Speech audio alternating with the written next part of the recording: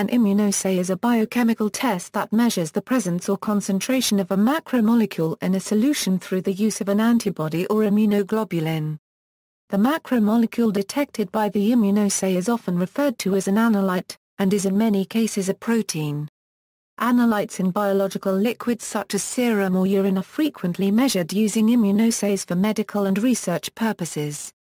Immunoassays come in many different formats and variations. Immunoassays may be run in multiple steps with reagents being added and washed away or separated at different points in the assay. Multi-step assays are often called separation immunoassays or heterogeneous immunoassays.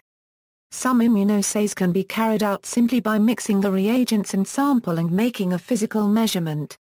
Such assays are called homogeneous immunoassays or less frequently non-separation immunoassays. The use of a calibrator is often employed in immunoassays.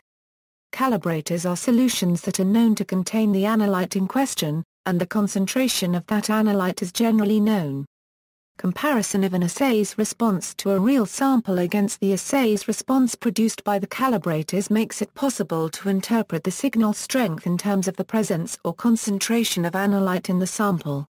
Principle Immunoassays rely on the ability of an antibody to recognize and bind a specific macromolecule in what might be a complex mixture of macromolecules. In immunology the particular macromolecule bound by an antibody is referred to as an antigen and the area on an antigen to which the antibody binds is called an epitope. In some cases an immunoassay may use an antigen to detect for the presence of antibodies, which recognize that antigen, in a solution. In other words, in some immunoassays, the analyte may be an antibody rather than an antigen. In addition to the binding of an antibody to its antigen, the other key feature of all immunoassays is a means to produce a measurable signal in response to the binding. Most, though not all, immunoassays involve chemically linking antibodies or antigens with some kind of detectable label. A large number of labels exist in modern immunoassays, and they allow for detection through different means. Many labels are detectable because they either emit radiation, produce a color change in a solution, fluoresce under light, or because they can be induced to emit light. History Rosalind Sussman Yalow and Solomon Berson are credited with the development of the first immunoassays in the 1950s. Yalow would accept the Nobel Prize for her work in immunoassays in 1977, becoming the second American woman to have won the award. Immunoassays became considerably simpler to perform and more popular when techniques for chemically linked enzymes to antibodies were demonstrated in the late 1960s. In 1983 Professor Anthony Campbell at Cardiff University replaced radioactive iodine used in immunoassay with an acridinium ester that makes its own light, chemiluminescence. This type of immunoassay is now used in around 100 million clinical tests every year worldwide, enabling clinicians to measure a wide range of proteins, pathogens and other molecules in blood samples.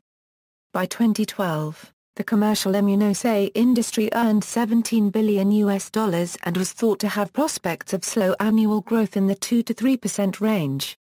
Labels Immunoassays employ a variety of different labels to allow for detection of antibodies and antigens. Labels are typically chemically linked or conjugated to the desired antibody or antigen.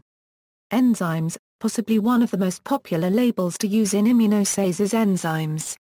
Immunoassays which employ enzymes are referred to as enzyme-linked immunosorbent or sometimes enzyme immunoassays. Enzymes used in ELISAs include horseradish peroxidase, alkaline phosphatase or glucose oxidase. These enzymes allow for detection often because they produce an observable color change in the presence of certain reagents. In some cases these enzymes are exposed to reagents which cause them to produce light or chemiluminescence. Radioactive isotopes Radioactive isotopes can be incorporated into immunoassay reagents to produce a radioimmunoassay.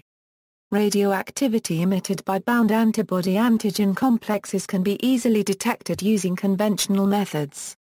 RIAs were some of the earliest immunoassays developed, but have fallen out of favor largely due to the difficulty and potential dangers presented by working with radioactivity. DNA reporters, a newer approach to immunoassays involves combining real-time quantitative polymerase chain reaction and traditional immunoassay techniques. called real-time immunoquantitative PCR. The label used in these assays is a DNA probe. Fluorogenic reporters Fluorogenic reporters like phycoerythrin are used in a number of modern immunoassays. Protein microarrays are a type of immunoassay that often employ fluorogenic reporters. Electrochemiluminescent tags Some labels work on an electrochemiluminescent principle, in which the label emits detectable light in response to electrical current. Labelless immunoassays While some kind of label is generally employed in immunoassays, there are certain kinds of assays which do not rely on labels, but instead employ detection methods that don't require the modification or labeling the components of the assay. Surface plasmon resonance is an example of technique that can detect binding between an unlabeled antibody and antigens. Another demonstrated labeless immunoassay involves measuring the change in resistance on an electrode as antigen binds to it. Classifications and formats Immunoassays can be run in a number of different formats. Generally, an immunoassay will fall into one of several categories depending on how it is run. Competitive, homogeneous immunoassays, in a competitive, homogeneous immunoassay, unlabeled analyte in a sample competes with labeled analyte to bind an antibody. The amount of labeled, and bound analyte is then measured. In theory, the more analyte in the sample, the more labeled analyte gets competed off and hence the amount of labeled, unbound analyte is proportional to the amount of analyte in the sample.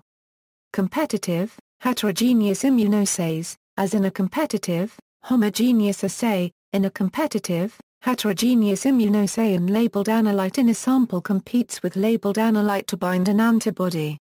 In the heterogeneous assays the labeled, unbound analyte is separated or washed away, and the remaining labeled, bound analyte is measured. One site, non-competitive immunoassays, the unknown analyte in the sample binds with labeled antibodies. The unbound, labeled antibodies are washed away, and the bound, labeled is measured, which is directly proportional to the amount of unknown analyte. Two-site, non-competitive immunoassays, the analyte in the unknown sample is bound to the antibody site, then labeled antibody is bound to the analyte. The amount of labeled antibody on the site is then measured. It will be directly proportional to the concentration of the analyte because labeled antibody will not bind if the analyte is not present in the unknown sample. This type is also known as sandwich assay as the analyte is sandwiched between two antibodies. Examples, clinical tests, a wide range of clinical tests are immunoassays. Many home pregnancy tests are immunoassays, which detect the pregnancy marker human chorionic gonadotropin. A few examples of other clinical immunoassays include tests that measure levels of CKMB to assess heart disease, insulin to assess hypoglycemia and prostate-specific antigen to detect prostate cancer. Sports anti-doping analysis Immunoassays are used in sports anti-doping laboratories to test athletes' blood samples for prohibited recombinant human growth hormone. B-bonds, See also, ELISA, ELISA, CEDIA, immunoscreening, lateral flow test, magnetic immunoassay, radioimmunoassay, surround optical fiber immunoassay, references. External links, The Immunoassay Handbook, 3rd edition, David Wild, ed., Elsevier, 2008, Learning Guides from Abbott Laboratories on Immunoassay, Part 1 Part 2 Part 3 Part 4 Appendix, Immunoassay at the U.S. National Library of Medicine Medical Subject Headings, Automation of Immunoassays, Chapter 5 and 6 in the book Bioanalytical Chemistry by Susan Mikkelsen.